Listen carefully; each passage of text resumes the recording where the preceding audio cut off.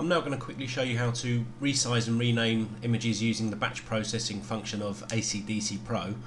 Um, I've already in, I've got the photos in here, they've already been converted to JPEGs. You can see that the, the file sizes are still quite large but I need to resize them for web use.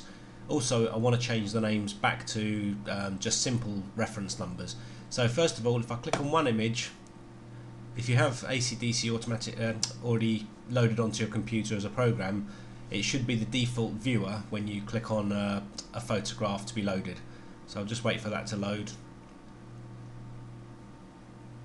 There we go and the photos now open in uh, full size within ACDSee Pro and they're all within the, the file there.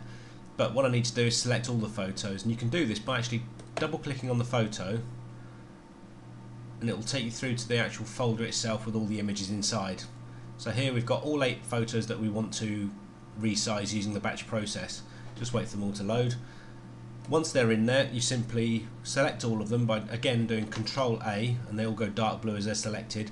And when you do that, these new menus open up at the top. The one we want to use is Batch Tools. So if we click on that, we've got two we want to use there: Batch Resize and Batch Rename.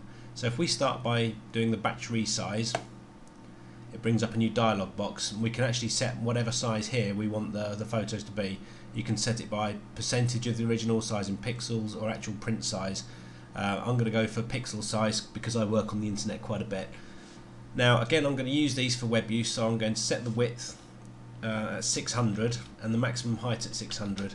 Now that means that it will take the longest edge and set it to 600 um, without changing them dramatically i.e. some won't be bigger than others. Um, I'm going to preserve the original aspect ratio and fit within the width and height of the photo. There's all different kind of um, options available to you. Uh, again, you can place them in wherever you want to um, send the new photos. You can either remove and replace the original files, you can rename, remodify and place in a source folder or you can place them in a, a separate folder that you've already opened. There's all, all kind of things. You can also set the JPEG compression, compression and I'm going to put it at the best quality just because I like the images to be top notch on my website So let's set that to OK, set that to OK. Oh, there we go. I'm going to actually remove and replace the original files for the purpose of this tutorial. So if I select that option, what will happen now is all of these original JPEGs will get reduced to a maximum 600 width and height. Now, if we start resizing now, you'll see what happens. It's very, very fast, this program. It'll work through them, resizing as they go.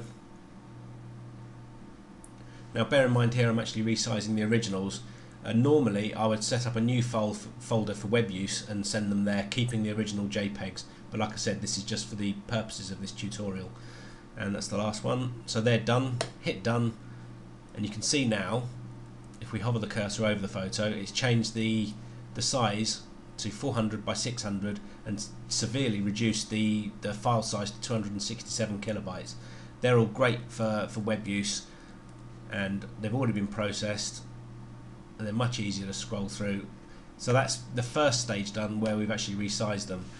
Again, we want to rename them, so we go through the same process. Control A, batch tools, batch rename, and it brings up a, a, a new dialog box here where you can actually have various options open to you that you can actually change.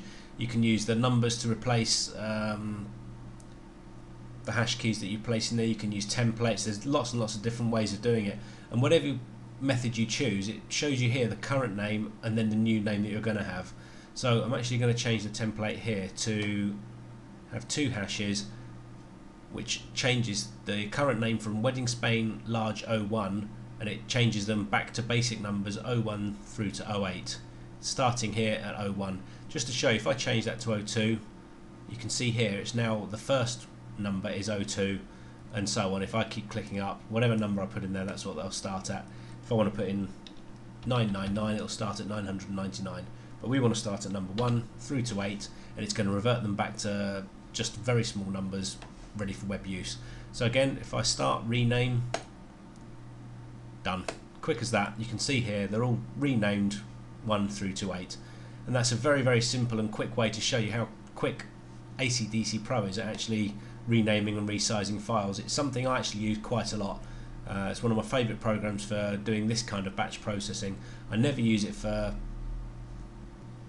changing the raw process or any other elements that I would change in Photoshop. I just mainly use it for resizing and renaming, and that's just to show you how it's done in ACDSee Pro.